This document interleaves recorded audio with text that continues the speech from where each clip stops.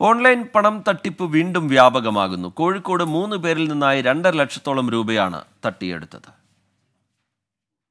കോഴിക്കോട് അരീക്കാട് സ്വദേശിയും L I C new India portal office ഏജന്റുമായ K P മൊയ്തീൻകുട്ടിക്ക് ഒരു ലക്ഷത്തി ആയിരം രൂപയാണ് നഷ്ടമായത്. ബാങ്കിൽ നിന്ന് വിളിക്കുകയാണെന്ന് വിശ്വസിപ്പിച്ചാണ് തട്ടിപ്പുകാർ വിവരം ചോർത്തിയത്. ഞാൻ കണക്ട് ചെയ്യുന്നത് ഇങ്ങനെ മറ്റേ നിങ്ങൾ അക്കൗണ്ട് ഫ്രീസ് ചെയ്തു എന്ന് പറഞ്ഞിട്ട് കനറ ബാങ്ക് കസ്റ്റമർ കെയർന്ന് അപ്പോൾ ഞാൻ വിളിച്ചു ചോദിച്ചപ്പോൾ നിങ്ങളുടെ അക്കൗണ്ട് ഫ്രീസ് ചെയ്തിട്ടുണ്ട്. Submission purpose of K Y C സബ്മിഷനാണ് എന്ന് പറഞ്ഞിട്ട്. അപ്പോൾ ഞങ്ങളിത് വെറക്കിഫൈ ചെയ്തു തരാം. നിങ്ങളെ ആധാർ കാർഡ് നമ്പർ പറയൂ. അങ്ങനെ ആധാർ കാർഡ് അക്കൗണ്ട് നമ്പറും പിന്നെ അതിലൊരു ഒ ടി പി വന്ന് അത് പറഞ്ഞു കൊടുത്തു.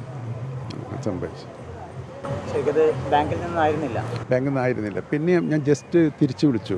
അപ്പം തന്നെ നോക്കിയപ്പോൾ ജിയോ മണിയിലേക്ക് ഒരു ലക്ഷത്തി ആറായിരം പോയി. ഫ്രാൻസിസ് റോഡ് സ്വദേശിയും മിഠായി തെരുവിലെ വ്യാപാരിയുമായ നിസാറിന് നഷ്ടമായത് എൺപത്തി അയ്യായിരത്തോളം രൂപ. മകൻ മുഹമ്മദ് നബ്ഹാന്റെ അക്കൗണ്ടിലേക്ക് മൂവായിരം രൂപ ഗൂഗിൾ പേ വഴി അയച്ചു.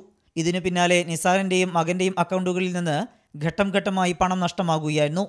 ഇങ്ങനെയാണ് പണം നഷ്ടമാകുന്നതെന്ന് വ്യക്തമല്ല. മൂന്ന് ദിവസമായിട്ട് അത് പോകുന്നത്.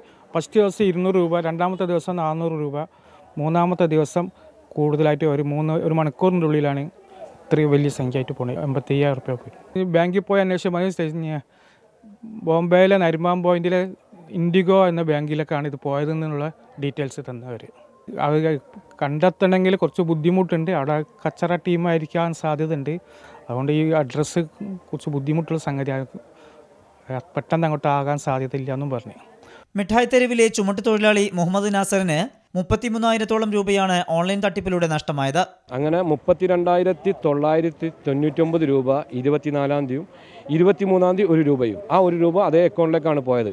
അപ്പോൾ ഫസ്റ്റിലെ ആ മെസ്സേജ് എനിക്ക് വരുമായിരുന്നെങ്കിൽ വന്നിട്ടുണ്ടെങ്കിൽ ഈ പൈസ പോകുമായിരുന്നില്ല. അത് ബാങ്കിന്റെ കൊള്ളരുതായ്മയാണ് പൈസ ബാങ്കിൽ പോയി അന്വേഷിച്ചപ്പോൾ യു പി ഐ വഴിയാണ് പോയതെന്ന് പറഞ്ഞത്. അവർ ചോദിക്കും നിങ്ങൾ ഏതെങ്കിലും ഒ ടി പി ഷെയർ ചെയ്തോ ചോദിച്ചു. ഞാൻ ഒരിക്കലും ഒ ടി പി ഷെയർ ചെയ്തില്ല സൈബർ സെല്ലിലും പോലീസ് സ്റ്റേഷനുകളിലും പരാതി നൽകിയിട്ടുണ്ടെങ്കിലും നടപടിയൊന്നും ഉണ്ടായിട്ടില്ല.